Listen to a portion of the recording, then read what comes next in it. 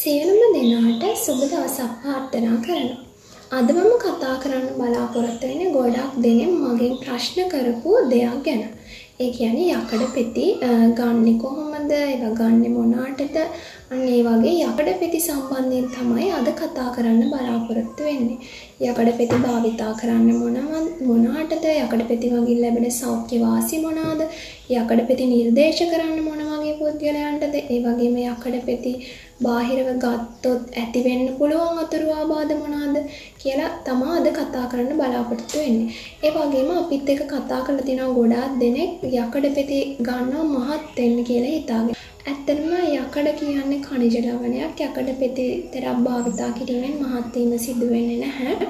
ඒ වගේම අපි දැකලා තියෙනවා තව කෙනෙක් යකඩ පෙති භාවිතා කරනවා. එයාට මෙන්න මේ ප්‍රතිඵලය ලැබුණා කියලා ඒක ඇත්තද බොරුද කියලා දන්නේ නැතුව ලැබෙන ප්‍රතිඵලයවත් දන්නේ නැතුව යකඩ පෙති භාවිතා කරන අය. ඉතින් අපි බලමු ඇත්තරම යකඩ පෙති කියන්නේ මොනවාද?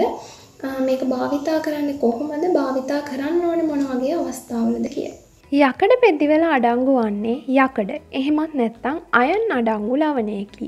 මෙහි බොහෝ විට අඩංගු වන්නේ ෆෙරස් සල්පේට් වේ.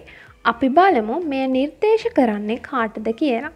එක ප්‍රධාන වශයෙන් ගර්භණී මවකට ගැබ්ගෙන මාස තුනක් පහෝ පසු යකඩ පෙති නිර්දේශ කරනු ලබනවා. නමුත් ගර්භණී මවක් මාස තුන පිරීමට පෙර යකඩ පෙති ලබා ගැනීම අහිතකර වෙනවා. එසේ ලබා ගන්නවා නම් ඔබගේ වෛද්‍යවරයාගේ උපදෙස් ලබා ගැනීම අනිවාර්ය වෙනවා. දෙක වකුගඩු රෝග පවතින පුද්ගලීන්. තුන රසායනික චිකිත්සකවලට භාජනය වන පුද්ගලයින්. හතර ලදරු රක්නහීනතාවේ පාලනය කිරීමට මාස තුනත් මාස විසි තුනත් දක්වා දරුවන්ට යකඩ පෙති ලබා දෙනවා. පහ රක්තහීනතාවයෙන් පෙළෙන පුද්ගලීන්ට. හය හර්දය දුර්වලතා සහිත පුද්ගලීන්ට. හත්ත සිලියක් රෝගී සහිත පුද්ගලීන්ට. අට අධික රුදිරවහනයක් සහිත ඔසප් පවතින කාන්තාවන්ට. නමය යෝන් විය පසුවන ගැහැණු දරුවන්ට. ලෝක සෞඛ්‍ය සංවිධානයට අනුව වැඩිවීට පත් වූ කාන්තාවන් යකඩ සප්ලිමෙන්ට් භාවිතා කිරීම බහුලව පවතින රක්තහීනතාවය සහ යකඩ ඌනතා රෝග වැළැක්වීමට ඉතා වැදගත් වෙනවා. ලංකාවේ කාන්තාවන්ගෙන් සීයට තිස් නමයක් යකඩ ඌනතාවෙන් පෙළෙන අතර ගර්භණී නොවන වයස විස්සත් විසිනමයත් අතර කාන්තාවන්ගෙන් සීයට තිස් දෙකක් යකඩ ඌනතාවයෙන් පෙළෙනවා. අපි දැන් බලමු යකඩ පෙති වැදගත් වෙන්නේ ඇයි කියලා. රතුරුදුර නිෂ්පාන්දනයේදී යකඩ විශේෂ කාර්යභාරයක් ඉටු කරනු ලබනවා. යකඩ උනතාවේ නිසා රක්තහීනතාවේ එනම් ඇනීමියා තත්ත්ව රතිරුදුරාණු අඩුවීමේ තත්ත්වය ඇතිවිය හැකි. ඒවගේම යකඩ ඌනතාවේ නිසා ඉතා අලස ගතියක් වෙහෙස ගතියක් ඇතිවිය හැකි.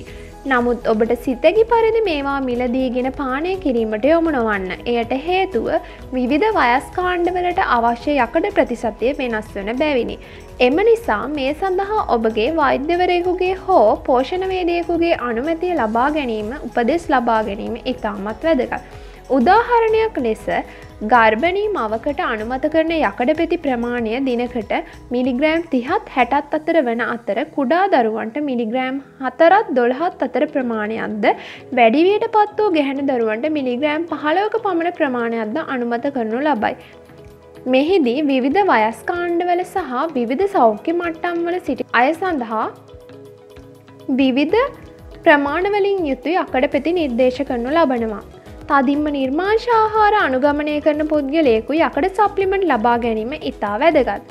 මීළඟට අපි කතා කරමු ඔබට දෛනිකව අවශ්‍ය යකඩ ප්‍රමාණය ස්භාවිකව ලබාගන්නවනන් ලබාගන්න පුළුවන් ආකාරය සහ මොනාද මේ අකඩ බහුල ආහාර කියලා.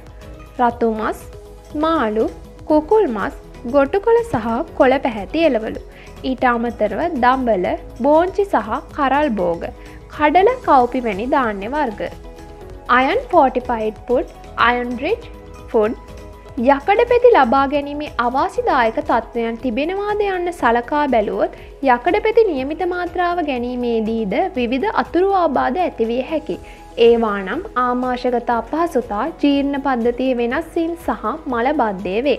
විශේෂයෙන්ම ගර්භණීභාවයට පත්වීමට අවස්ථාවක් ඇති හා ගර්භණීභාවය බලාපොරොත්තු වන මව්වරුන් නම් යකඩ පෙති ලබා ගැනීමට පෙර අනිවාර්යම වෛද්‍ය උපදෙස් ලබා ගැනීම අනිවාර්ය වේ. ඒවාගේම යකඩ පෙති විවිධ ඖෂධ තත්ත්ව සහ සප්ලිමෙන්ට් සමඟ ප්‍රතික්‍රියා කිරීම සිදුවෙනවා. එහිදී සෞඛ්‍ය ගැටලු ඇති නොවීමට නම් ඔබගේ වෛද්‍යවරයාගේ හෝ පෝෂණවේදියකුගේ උපදෙස් ලබා ගැනීම ඉතාමත් වැදග.